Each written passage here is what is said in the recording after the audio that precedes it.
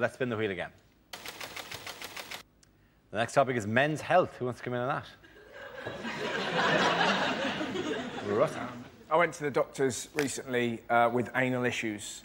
Um, I thought I had cancer, not I can't put my CDs in order. But it's a terrifying moment, right? So scary, because in your head, I'm going to die, I'm going to die. And I went there and I took down my trousers. Obviously, we had a chat first, and it just. I'm not very well. you see that, mate? This is a chip shop.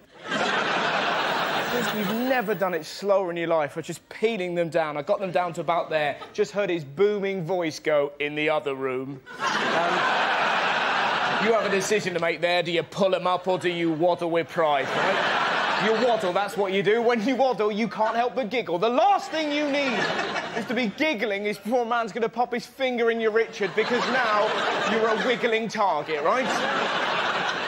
I'll be honest, when the finger goes in, you're not laughing anymore! You're like a red arrow! And that's the moment they chat. How you doing? Fine. Can you draw the curtains? We've gathered quite a crowd. Look at that, it's Atrium Steps and he's getting violated. I'm Rosalind!